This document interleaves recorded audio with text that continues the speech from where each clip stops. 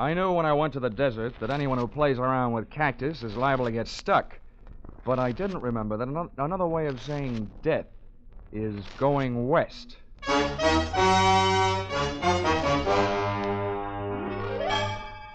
This is another in the adventures of America's fabulous freelance insurance investigator, Johnny Dollar. At insurance investigation, Johnny Dollar is only an expert. At making out his expense account, he's an absolute genius.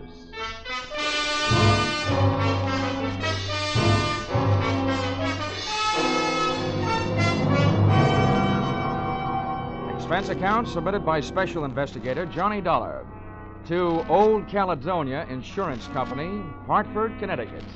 Attention, Oscar M. Wheaton, Chief Investment Counsel. The following is an accounting of my expenditures during my investigation of suspected skullduggery in the Skull Canyon mine. Or, uh, Mr. Bones, who was that lady I seen you with last night? Or, messing with a mule train is one good way to kick off. Expense account item one 25 cents. Tip to busboy who brought telephone to my table at the Blue Danube restaurant, Robertson Boulevard, Los Angeles, uh, where I happen to be uh, working on a case. Your call came right after the liver dumpling soup, taking me out of the soup plate and putting me in the soup. Now, this is the story, Dollar. You make notes and don't interrupt. Two years ago, this company made an investment in a bona fide working gold mine, the Skull Canyon Mine. That's just outside Twin Buttes, Arizona. I see. I said don't interrupt. That's just over the border from Nogales, Mexico. Now, up until three months ago, everything was fine. The profits shown by the mine were good, and then suddenly, our returns dropped 50%. However, operating expenses, man hours, and so on remain the same, indicating there's been no fall off in the removal of high SAR. Now, there's something wrong. We want you to go down there and find out what it is. Expense account item two $12.80. I decided that since you'd invited yourself to the table, dinner at the Blue Danube was on you. Oh, in case you're interested in what you didn't have, it was uh, that liver dumpling soup, veal paprikash, cherry strudel, and a small coffee. Enjoyed with that case I was working on. An eccentric millionairess who wanted to marry me for her money. She had yes, yes in her eyes, but when I told her I had to say goodnight immediately, she said, Oh, no. Expense account item three $120. Burns Lee Flying Service. Charter plane to Twin Buttes, where I checked into the Waterfield Hotel, called the mine, and told the girl who answered that I wanted transportation out there. She said she'd come after me. Having seen too many Western movies, I figured she'd arrive in a buckboard, but instead she picked me up in a Jeep. Hey, slow down, will you? Before my teeth start falling out. Oh, sorry. I, um, forgot you were tenderfoot. That's not where I'm tender. Uh, by the way, Miss Moreland, how far is it out to the mine? 23 miles? Oh, no. Is the road like this all the way? Oh, no. About another half mile out of town, there isn't any road at all. Oh, Oh! if I ever live through this. From now on, I'm taking my bumps in a burlesque theater. Oh. Much better than walking, mister. Say, uh, you said you're out here representing the owners. What's your job? Uh, well, I'm a, an efficiency expert. Oh, Uh, speaking of efficiency, what's your first name? Jackie? Oh, well, in that case, mine should be Gwendolyn. But it's not. It's Johnny. Well, let's not bother shaking hands on it, pal. Here comes the end of the road. Oh, oh, oh.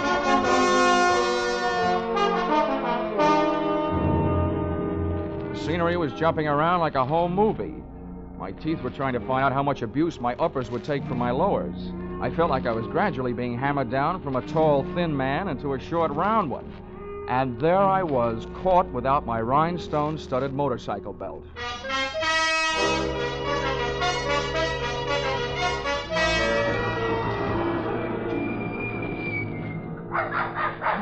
Well, here you are. Want me to help you out? Oh, very funny. Go away. Get lost, you little monster. I'll admit I look like a bag of bones, but I'm too young to die. Go on, now beat it. Oh, be a good dog now. Lie down, Nugget. Down. Yeah, Nugget, drop dead. This the mine office? This is it. Well, Dollar, welcome to Skull Canyon. I'm Doyle, the manager out here. I'd be happier to meet you if I met you in town. Mr. Dollar's in a foul mood, Jeff. That ride was a little too much for him. That ride would have been a little bit too much for Buffalo Bill. well, that's how Jackie keeps that figure as trim as she does. Now, come on inside, Dollar. That's where the books are, and that's where the chairs are. With cushions, I hope. I'll see you guys. All right.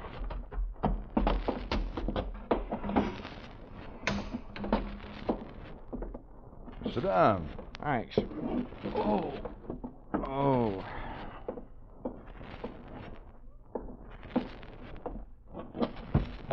Well, there you are. You'll find all the figures right in that big, fat book. Uh, all but Jackie's. Well, I'm not in any hurry to do my arithmetic. Tell me, uh, what do you think of the results around here? You know more about it than I do. How are things going? Well, Dollar, I'll tell you, it was going better than it is right now. Mm-hmm. Just a few months back, we worked out a pay vein. I'm hoping we'll pick it up again any day now. That sounds reasonable. Any trouble? Help, equipment, working conditions? Well, working conditions could be a lot better, but that, that's a geographical problem. You see, the mine is located here, and the big water supply is eight miles west. We haul the ore across the desert by mule train to the smelter. It's cheaper than trucks. We'd have to build a road for them.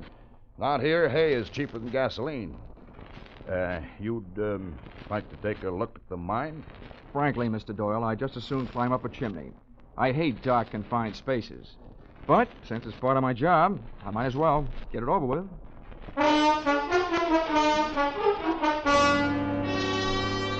The entrance into the mine was through an adit, a horizontal shaft into the side of a hill. We rode in on the tail end of a small red dynamite car, drawn by a donkey, junior grade, a burro. It was cooler in there, but I started to sweat the minute we left sunlight and fresh air behind us. I could hear the jackhammers nibbling little gold ear bobs out of the quartz rock for the Christmas tree. Then I heard them stop, and Doyle told me why. Uh, sounds like they're about ready to blast. Oh, great. So open your mouth and cover your eyes.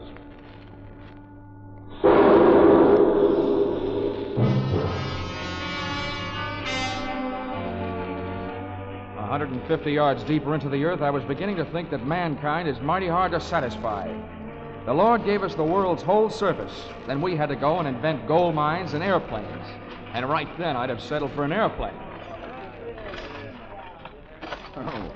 What's the matter, Dollar? You look a little green. Oh, feel a little green. Well, look, look, take some deep breaths and hold them as long as you can. Okay. Yeah, there, that's that'll perk you up.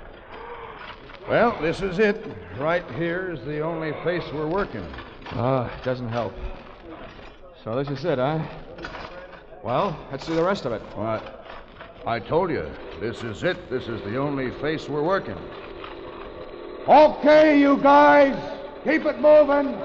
Load that ore. Fill 'em up. Come on, bend your back.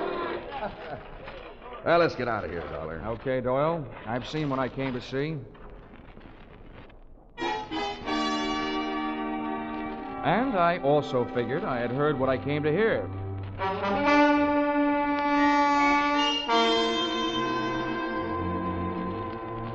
Dinner that night I had with Doyle and Jackie, and the steak they served gave me a rough idea of what they did with their old burros. Doyle's attitude gave me a rough idea that maybe he'd seen my eyes light up when I heard those jackhammers snorting away in some other part of the mine, just after he had told me that where we were standing was the only place being worked. After dinner, Doyle went back to the mine, leaving me alone with Jackie, which was better than dessert. Uh, by the way, Jackie, just what's your job out here? Oh, I'm just sort of a secretary and bookkeeper and jeep driver. Uh huh. How'd you happen to land here in Skull Canyon? Well, I took the job because I was going to marry the man who was the manager then, Doyle's old boss. I met him in college. He was a mining engineer. His name was Larry Hodges. Or what happened? I was left at the altar. When I got out here, he was gone. Guess he got stage fright and changed his mind. Anyway, nobody's heard from him since.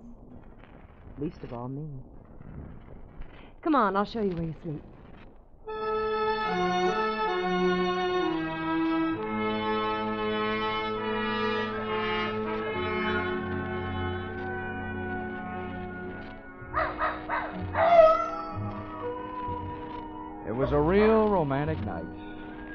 Nugget the dog was carrying on a long distance conversation with his country cousins, the coyotes up in the hills.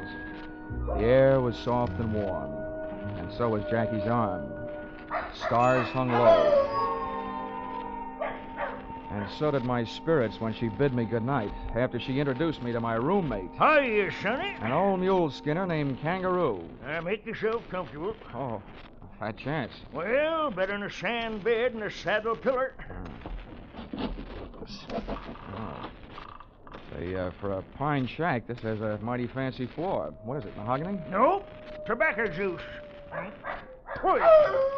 Helps keep out the sidewinders. What do you mean helps? Little snake critters crawl in out of the hot sun to get cool. Where are you from, Sonny? Uh, Hartford, Connecticut. Well, I'll be turned to. I don't reckon it shows through, but I'm a Easterner myself. Come out from New York State 53 year ago. Little town of Prattville. County seat it was. Hmm, that's pretty dull. What'd you say? Oh, nothing. Say, uh, are you the one that handles the mules on the run out to the smelter? I'm one of them. Well, how's chances of hitching a ride with you in the morning? You'll have to get up early. All right, then, I'll get up early. Well, then stop wasting your breath on a lot of dang fool words. Use some of it on the kerosene lamp. Quick! Night.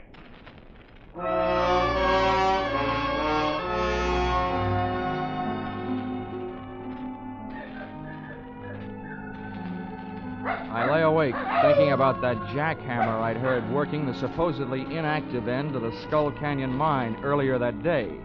This didn't take too much pounding into my skull before I decided that Doyle was working on a vein for his own personal profit. I also knew that for him to convert the ore into gold, he had to get it to a smelter. So I figured that the mule skinner, Kangaroo, was the best place to start asking questions. Ah, it's funny how a sleepless night can sour the beauty of a desert sunrise.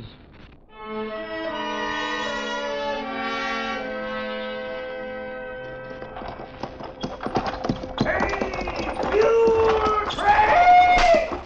Come on there, you, you me! Hey, Frankie, move it, Monroe! You train! Oh, this I don't believe. Uh, since that dang record come out, I had to rename all my mules. Hey, get up there! Hiya! Yoo-hoo! Eh, Dang fool song anyway. Now I'll get you feeling self-conscious just doing my everyday job. Say, see that big rock up ahead?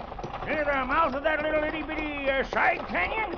Yeah, I see it. That's halfway rock. Means we're halfway to where we're going. I'm sorry it isn't all the way rock. I wish we'd get there. The sun's getting awful hot. Why, it ain't nothing, Sonny. Some days that old sun's got your tongue hanging out your fur, gets a real nice tan. Uh, how do you stand it?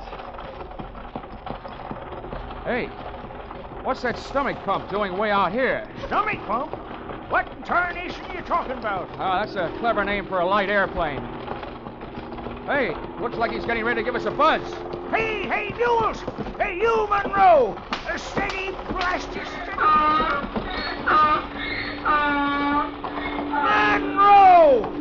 Uh, doggone it, he's the loudest mouthed ding-ding old mule I ever did hear. Hey, here he comes. Whoa, ho there, ho! Ho,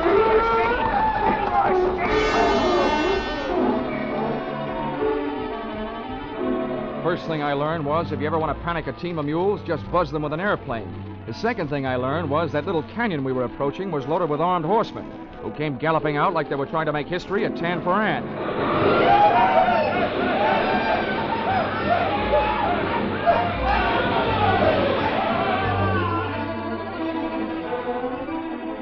The gunman didn't do anything to me except hold me at bay, while the plane picked itself a landing and disgorged its one man air force. Buenos dias, amigos.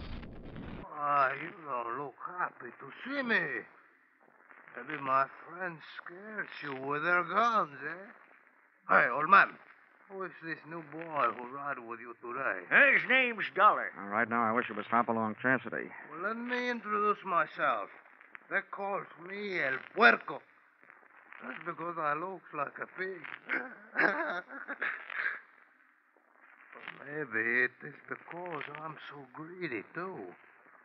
I want what you got with you. Why, Galdern, your miserable son baits hide. Now, take it easy, old timer. It's Well- okay. All I've got on me is a wristwatch and a few bucks. Let them have them.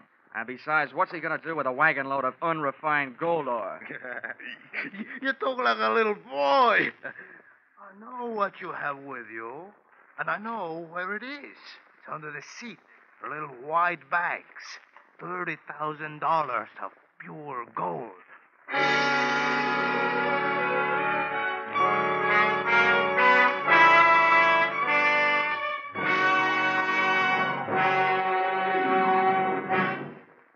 In just a moment, we will return to the second act of Johnny Dollar. But first, hardly a clue to start on, and the witnesses' stories at hopeless variance. That was the job that the Birmingham, Alabama police faced in the murder called the case of the hue and cry.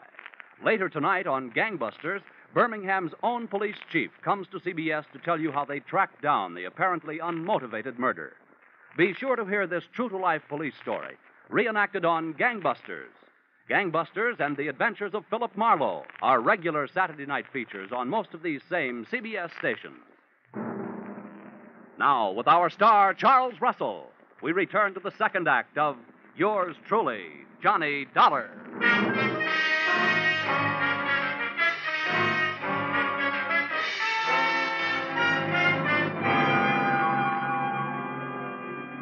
So there I was, Johnny Dollar, efficiency expert. I'd efficiently gotten myself in trouble. I was efficiently letting El Puerco walk off with a large part of your gold, and stood a good chance of efficiently getting myself shot in the belly. There we are, amigos. I feel better now the gold is in my little aeroplane. I hope you're not mad with me. You know, I need the money to pay my taxes. Okay, okay, you got what you wanted. Why don't you take off and get out of here? That ding dang rascal. He's probably figured on shooting us. oh, no, old man. I'm a very scientific bandido. You think I want to shoot you and get killed myself for murder? Oh, no. I let your mules do the dirty work. Well, Manuel, Pedro, Juanito, here, adelante. Take this man and tie them up. Tie them to the stake back to back. And the rest of you tie up the mules in a circle around them, in nice and close. Then I will get in my little aeroplane and dive on the mules. And the mules will kick their heads off. Pitching horseshoes may be fun, but not when they're being pitched at your head by a mule. Once we were tied back to back on the stake, the nearest available technical advisor, Kangaroo, was anything but encouraging. That's the trouble with a gold darn mule. When they get riled up, they think with their feet. Here he comes. Hey, there. There. You mule, ho. There. I guess we showed 'em. Yeah. I ain't skunned mules 40 years for nothing. I can handle 'em. Oh, nice going, Kangaroo. Now, listen, Sonny, I got me an idea. Yeah, what is it? Well, go something like this. Hey! Oh!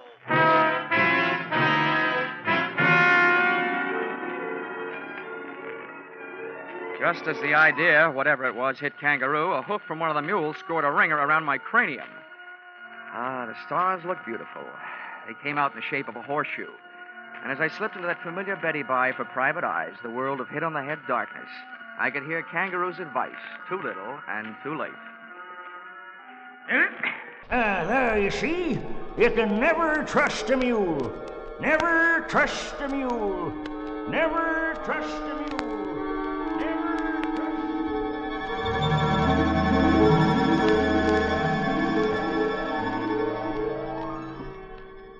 Long time later, the curtains of my eyelids went up on the next act. But something was wrong. The stage was still dark. The stars were still there, but not in a horseshoe pattern. I closed my eyes and dreamed some more. I was lying near an oasis in the Sahara Desert, and a beautiful maiden was bending over me, kissing me.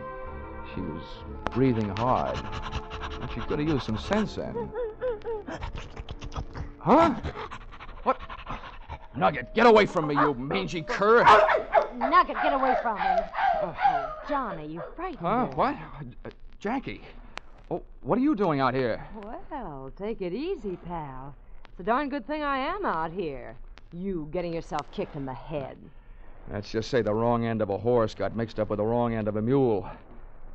Hey, where's Kangaroo? Where are the mules? What's going on? Johnny, relax, relax. Kangaroo and the mules are on their way back to the mine. Oh, where's uh, Pancho Tortilla? Who? There was a Mexican bandit out here, the greatest piece of typecasting since the Gutenberg Bible. Oh, El Puerco. Yeah. Yeah, Kangaroo told me about him. Come on now. Try to get up. Come on. Oh. Uh, yeah. Hey, what happened to you? Your clothes are all torn. Yeah. This is Mr. Doyle's idea of a proposal of marriage. We were supposed to fly off together to South America tonight.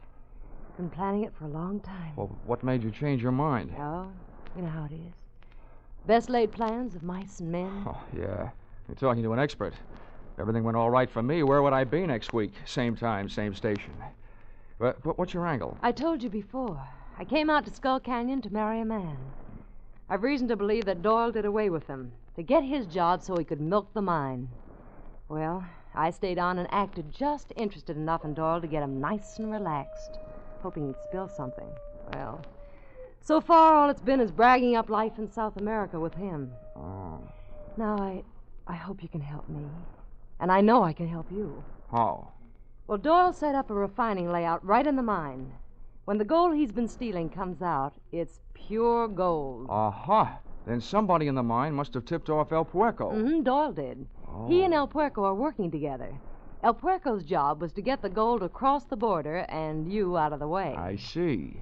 Well, listen, you ever been in the mine? I mean, could you show me the way the refining layout? Oh, no, no. Doyle's never let me inside. Well, how about the charts of the mine? They're in the safe. I've got the combination. If we can just get in without Doyle seeing me, I can get him. I'll leave that to me. Come on, let's get going. Eh, eh, wait a minute. How do we get back? Well, I came out in the Jeep. Oh, my aching head.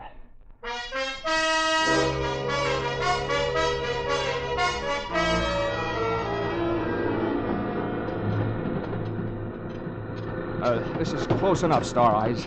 We better pull up right here. All right. Nugget, quiet. Say, the wedding may be off, but it sounds like the reception is still on. No, that's the regular Saturday night square dance. Oh. Well, look, from here, which way is the office? I- I'm lost. It's right over here. Oh. Come on, I'll show you. You were in it yesterday.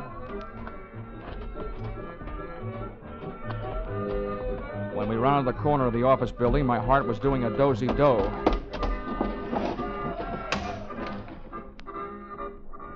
Oh! The door of the safe was open, and so was the mouth of the fellow in front of us. But he wasn't saying anything. He was lying on the floor, dead. El Puerco, the pig. Well, what a spot for a big red apple. He must have come back for something. Kangaroo must have caught up with him. Uh, whoever caught up with him, caught up with him, but good. Come on, let's go take a look for Kangaroo.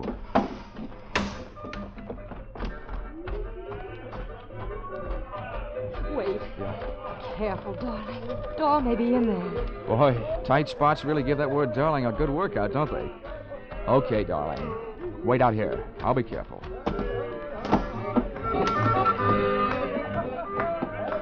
Uh, say, partner, you seen Kangaroo around here? Kangaroo? Yeah. Well, sure. Kangaroo came in here uh, looking for Doyle. Well, did you find him? Well, uh, don't know. Doyle went over to the mine. Is that where Kangaroo went? Well, if I was looking for Doyle, that's where I'd go. Thank you, Bottleneck.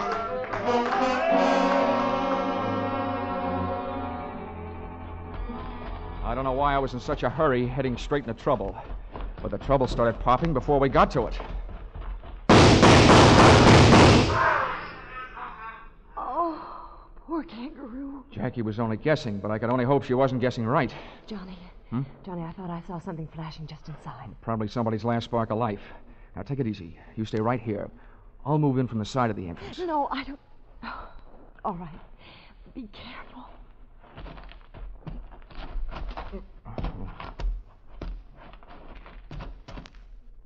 Oh. He sure got you good, partner. Okay, Jackie, you can relax. The right man got it, your playman. Mr. Doyle. Oh, Johnny. Oh, Johnny, it's awful, but what a relief. Hey, Kangaroo, you can come out now. Everything's all right. It's us, Jackie and Dollar. Anyway, uh, don't make a move or I'll shoot you down. Hey, what? What the? Harry! Stay where you are. Larry, you mean the guy you thought was dead? The guy you were supposed to marry? Yes. Yes. Oh, Larry! Larry died! I'll, I'll kill you. No! Oh, Larry! Larry, what's happened to you? I'll kill you. All right.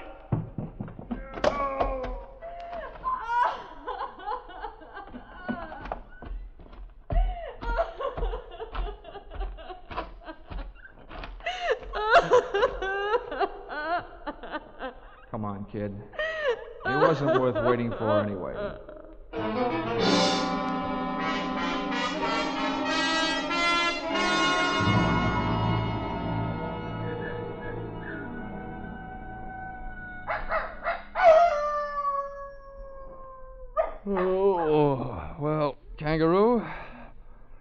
your first interest was feeding your mules so that you didn't get mixed up in all that shooting. Yep. Poor. Well, I'll tell you. When three bad eggs like Hodges and Doyle and El Puerco get together double crossing each other, they all gotta wind up in the omelet. They're dead.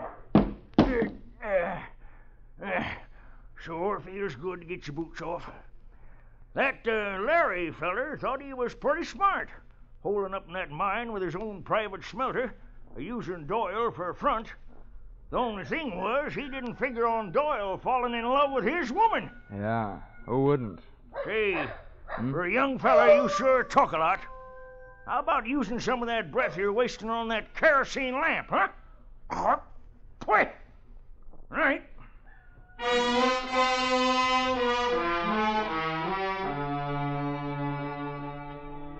Expense account, item four, $6.10. One quart snake bite medicine, 32 ounces of prevention in uh, case a snake should bite me. Item five, $3.40, with which I purchased the nicest gift I could think of for a gal in Jackie Moreland's position. A telegram to you, requesting that you give her a job she very much deserved the managership of the Skull Canyon mine. You see, when she first found out that man she was going to marry didn't love her, she took out her affection on the territory, which makes me very sorry that I wasn't born in the state of Arizona. Uh, expense account item six, $164.35. Uh, transportation, Twin Buttes to Hartford.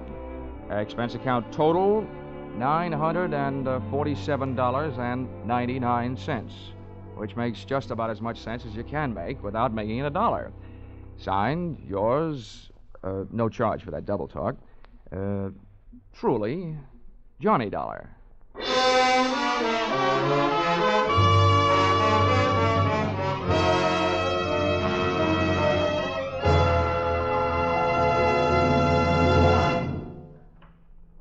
Yours truly, Johnny Dollar, is produced and directed by Gordon T. Hughes and stars Charles Russell. Script by Paul Dudley and Gil Doud. Featured in the cast were Doris Singleton, John Dehner, Willard Waterman, Fred Howard, and Don Diamond. The special music is written and conducted by Leith Stevens. Your announcer is Paul Masterson.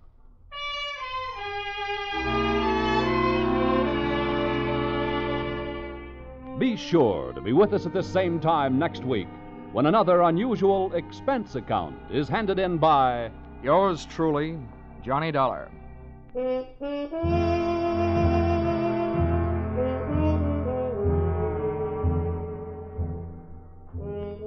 Music Popular and Music Western are on the bill for CBS listeners again tonight.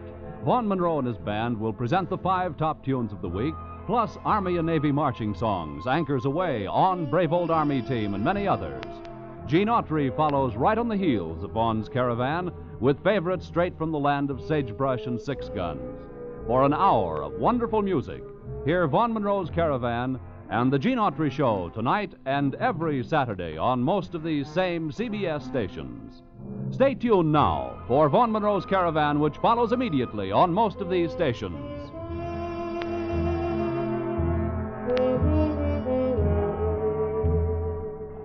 This is CBS, where yours truly, Johnny Dollar, meets adventure every Saturday night, the Columbia Broadcasting System.